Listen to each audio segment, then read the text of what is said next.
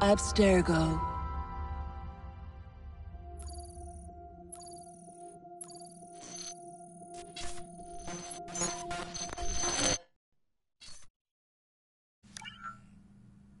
Hello, Initiate. Several new projects in London. We both know that when Abstergo makes big moves, think they're hot on the trail of a new piece of Eden. I've got people in London looking for it. Hey, Bishop! How awesome is that? Speak of the devil. Fire up your cameras, Bex.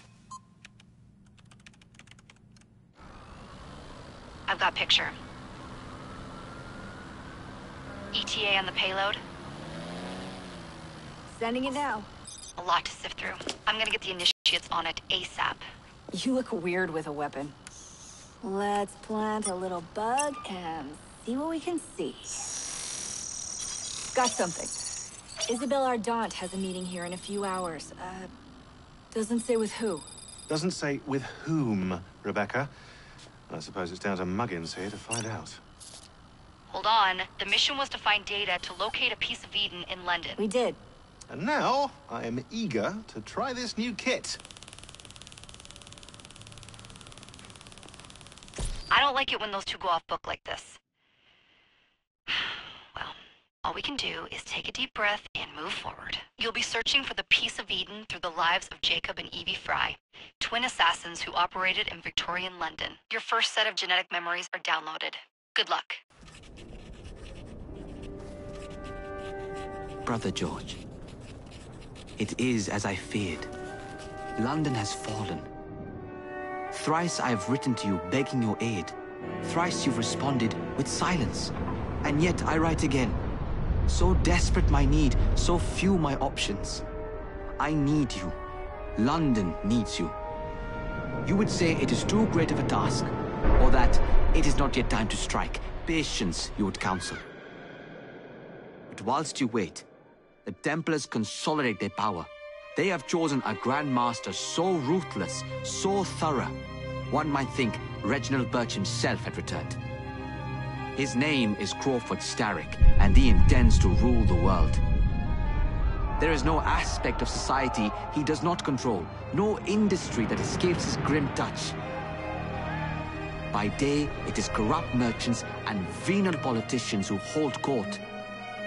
Come night, a vicious street gang known as the Blighters strikes terror in the hearts of all. There is no business untainted by his poison, no person unexploited, be it by duplicity or force. Our enemy has designs on the highest office of them all. And so, as you look inward, and dare I say it, afraid, Crawford Starrick's ambition is conquered. Though not for long, for he knows. As I have warned you, time and time again, whosoever controls London, controls the world.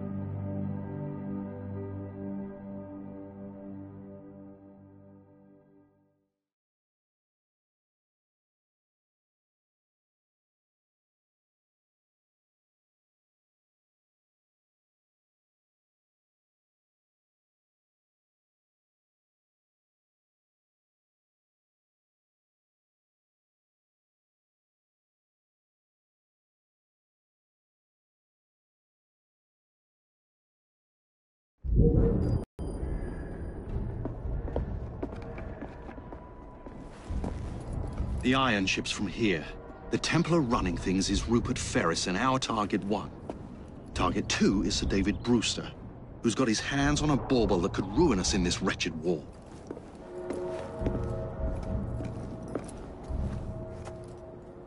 Think you both can handle it? What a question. All right. My mistake. Ladies and gentlemen, the unstoppable Fry twins. See them nightly at Covent Garden.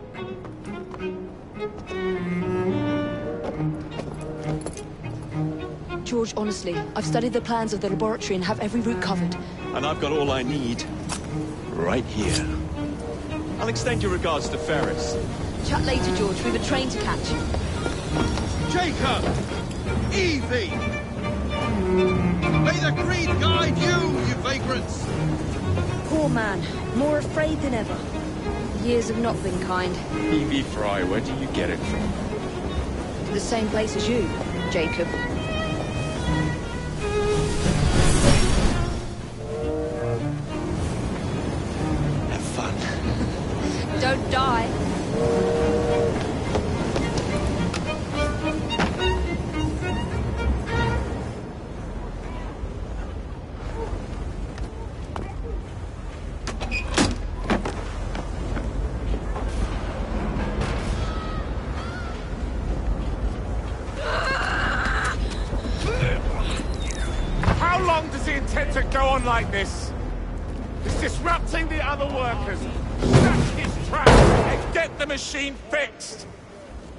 Me some laudanum for my head.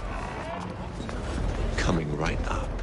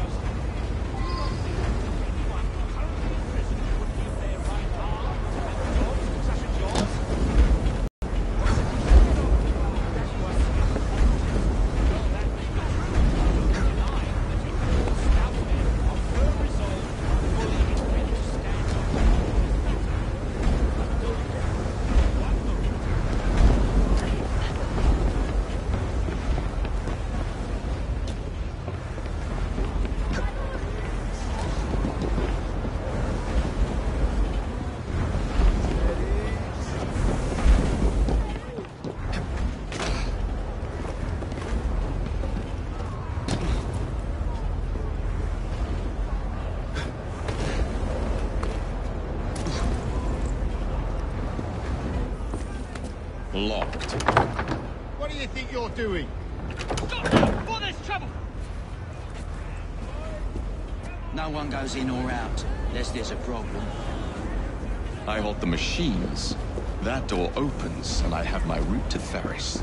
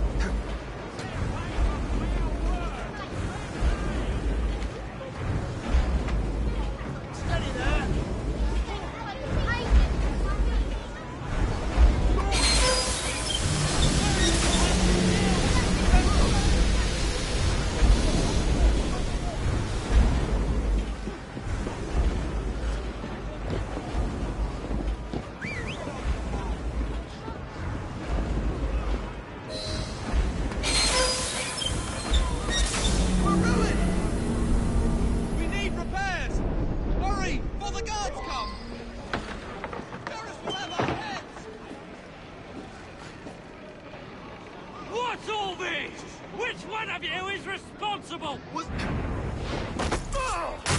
Just put your head down. Who are you? The sanitary inspector. This man is dead. You're the dead man. Run along now. I'll slice you open. beg for mercy. I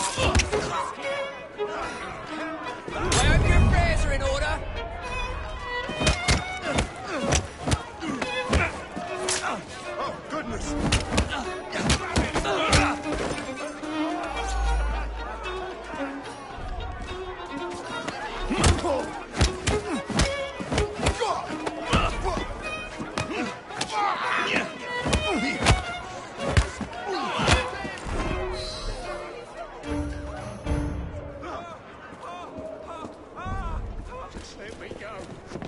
I'll never trouble you again. Look at yourselves.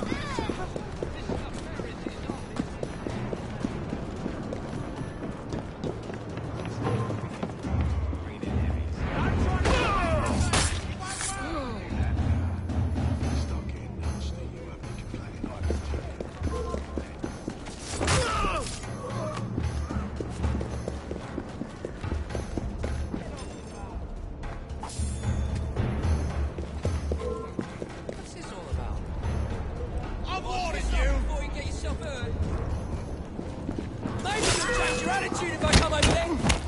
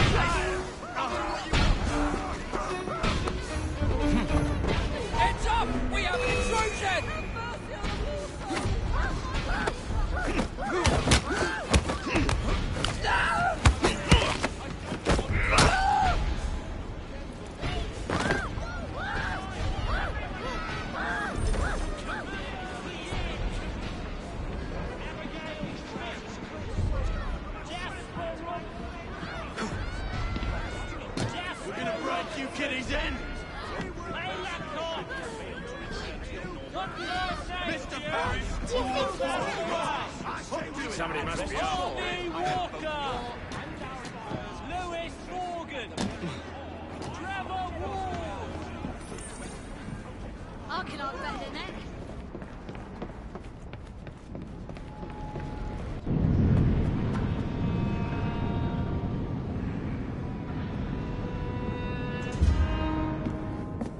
Mr. Ferris, sir. The...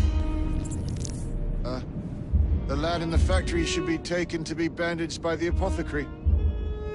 Fine. But dock his wages. Yes, sir.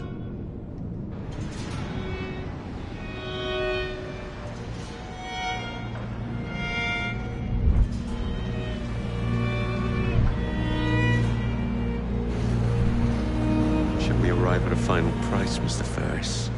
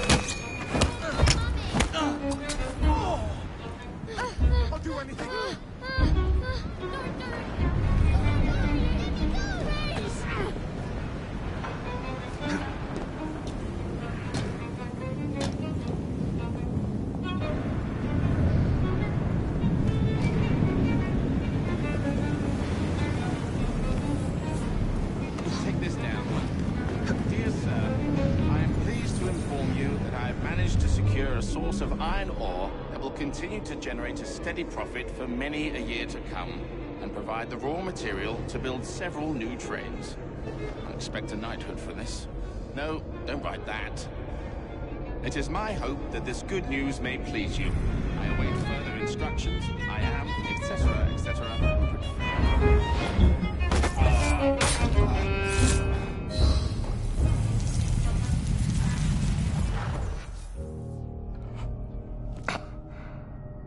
It is done. Oh?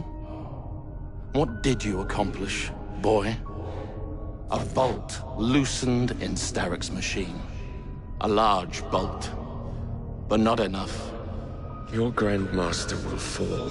You assassins can circle London to your heart's content. The mechanism we have built has been going strong for a hundred years and will run a thousand more. It is the very city itself. We will take London from your hands. From Croydon? You lurk in the shadows like a coward. I doubt it. Ah.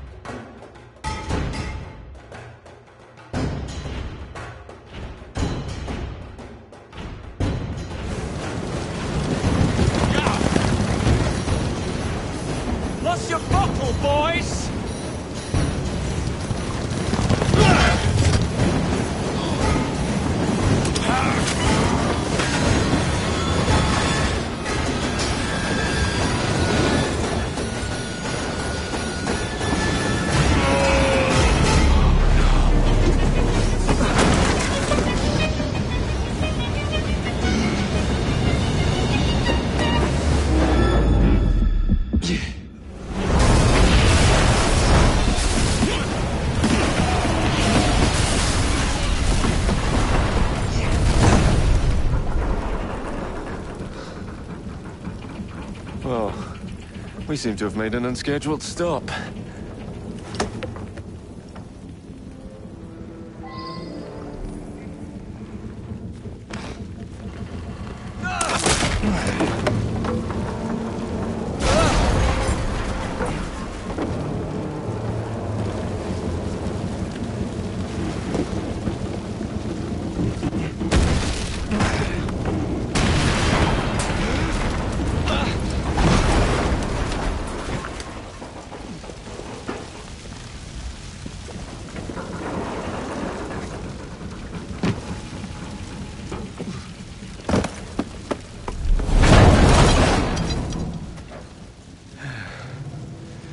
Maybe next time I'll walk.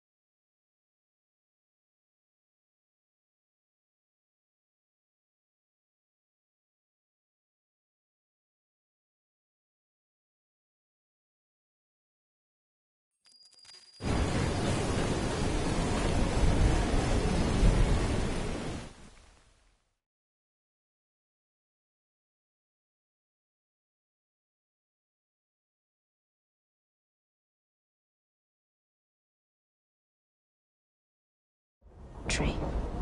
This is where the piece of Eden will be located. No loose ends. Now, to decouple the locomotive and create a diversion.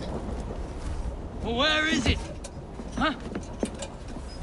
Where's Brewster's supplies? Meter.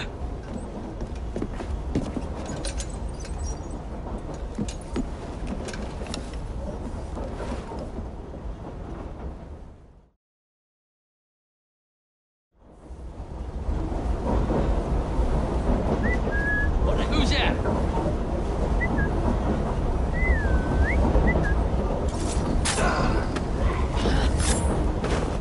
Time to deploy the diversion.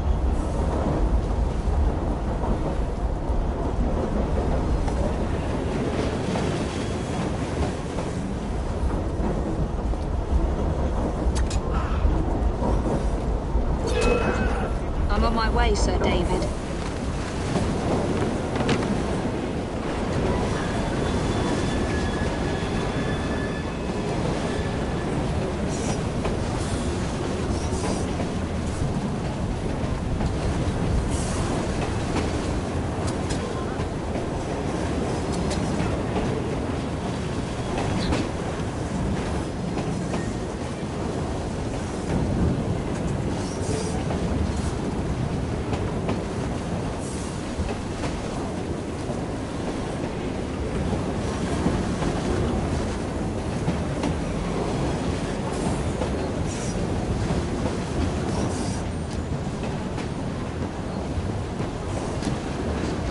Hello, boys.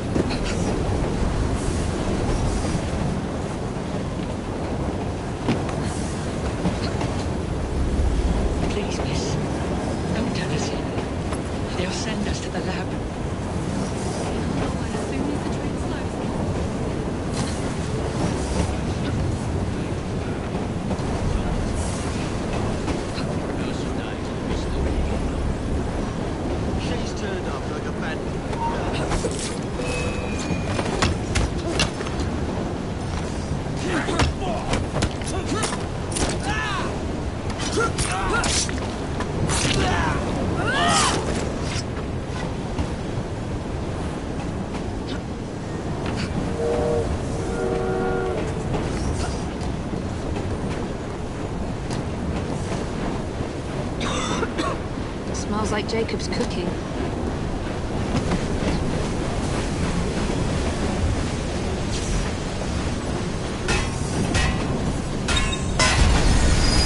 That should keep you busy while I head into your lab.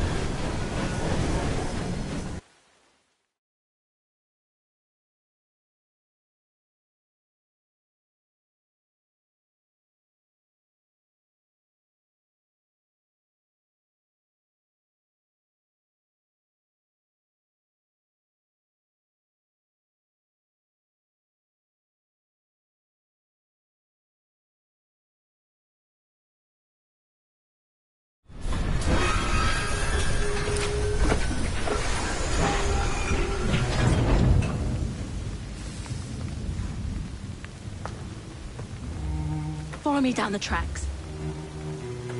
You stay here and keep a lookout. All right. I'll shout if I get any bother. First for a bird's eye view. Can't be too careful.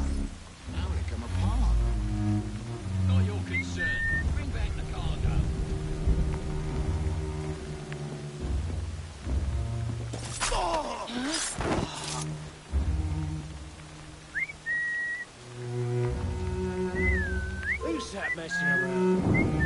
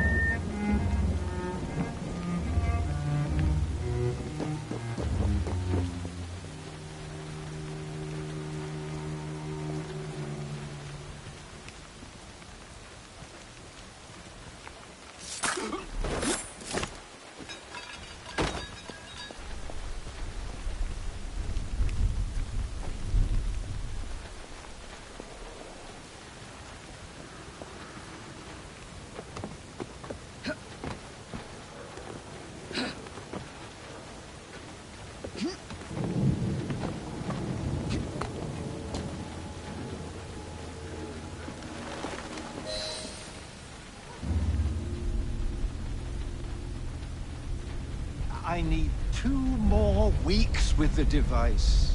Your questionable practices are beginning to draw unwanted attention. You have been given more than enough time to achieve results, Sir David. I was unaware that you expected me to perform like a cocker spaniel. Permit me to remind you of your obligation to the Order. Miss Thorne, you ride me like a racehorse. Sir David. I will return tomorrow. If you have not unlocked the device's secrets, forget your dogs and horses. I will leave you to the wolves. Good day. I was merely promised a tour of the premises, my lords. Who sent you? It's one of Green's spies. Get that man to interrogation. Then I want him brought to the lab. What a pity. But no deviations from the mission.